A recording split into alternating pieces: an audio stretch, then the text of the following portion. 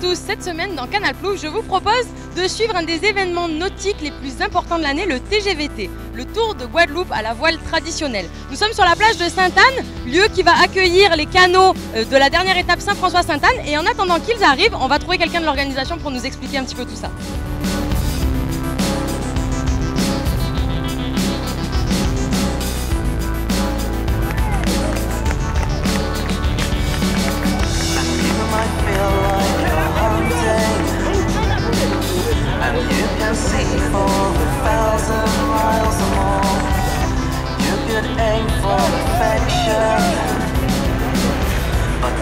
Salut Michel, alors on aimerait bien revenir sur euh, donc, toutes ces étapes euh, du TGVT 2014. Est-ce que tu peux me résumer tout ça? Oui, euh, le prologue s'est passé le vendredi après-midi à Bastère.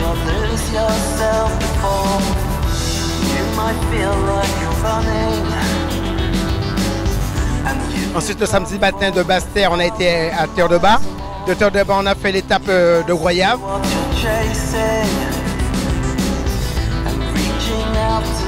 Ensuite, on a été à Petit Beau, puis Petit Beau, Pointe-à-Pitre, Pointe-à-Pitre, Gauzier.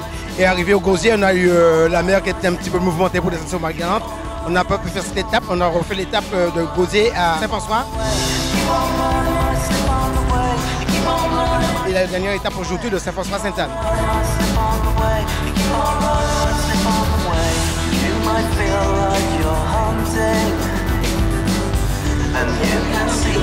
Donc sur ces différentes étapes, on a eu pas mal de, changements aux deuxième et troisième place, car depuis le départ de la course à, au Sainte, c'est Côte qui a gardé la position en tête jusqu'à l'arrivée d'aujourd'hui.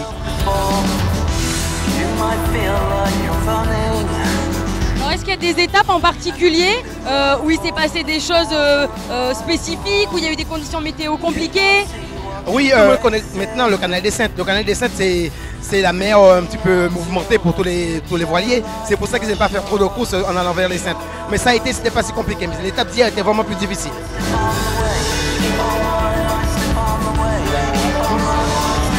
Quel type de marin on voit sur les canaux? Ah ben, c'est très mixte cette année. On a eu déjà des invités des étrangers, Gonade, euh, Antigua, français. Et on a aussi euh, une flotte très très très ouverte jeune, je crois c'est l'équipage de 97, ils ont à peu près 17 ans.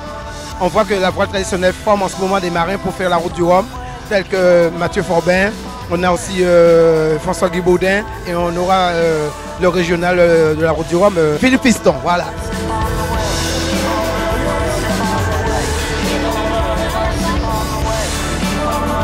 Comment vous trouvez ce TGVT 2014 ben, il y a eu des rebondissements, on a un peu tout eu, hein, avec, euh, disons, une part de suspense et puis de surprise. Euh. Nous avons nous-mêmes lancé Guadeloupe Grand Large pour former des skippers, pour former des gens qui vont barrer les bateaux. Ça dure euh, deux ans, on en commence à avoir des résultats. Et nous aurons d'ailleurs des skippers qui vont faire le transatlantique, donc la route du Rhum. Alors Claude, bravo, hein, c'est encore lui qui gagne le tour cette année. Est-ce que tu peux nous raconter justement comment toi tu as vécu ce tour? Oh, Je pense que l'année dernière on a gagné le tour euh, sur la dernière étape alors qu'on était troisième. Et euh, il y avait une sorte de ressenti venant des autres équipages. Et il fallait qu'on démontre qu'en réalité, ce n'était pas par hasard qu'on avait gagné. Et cette année, on a su démontrer qu'on menait de main de maître d'une part le bateau et mon équipage a su répondre présent depuis le début de Basse-Terre. L'étape la plus difficile peut-être pour toi? Elles ont toutes été dures. On a eu des conditions de, vent très fortes pendant euh, toute euh, la compétition sauf aujourd'hui et le prologue à Basse-Terre.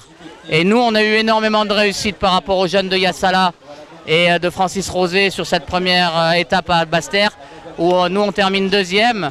On était un peu déçus parce qu'on avait mené la course. Mais euh, Yassala et euh, Francis, eux, ils étaient vraiment très très loin derrière. Et je pense que le tournant de la course, si je reviens, si je fais un backup, c'était bien à ce moment-là.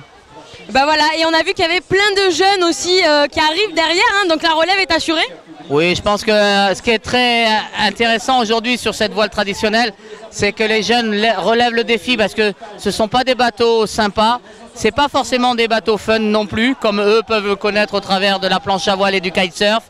Et donc, euh, merci à tous ces jeunes de venir euh, sur l'eau, de venir se former, parce qu'on a vraiment un superbe outil de formation aujourd'hui avec le canot traditionnel en Guadeloupe. Voilà, et nous on en profite aussi pour dire à tous les jeunes de continuer de venir faire de la voile traditionnelle, ça nous offre vraiment un beau spectacle. Merci à tous de nous avoir suivis et on se retrouve la semaine prochaine dans Canal Plouf.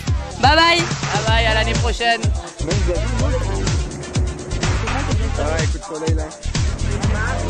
Je dirais c'est un vieux con, c'est mon con.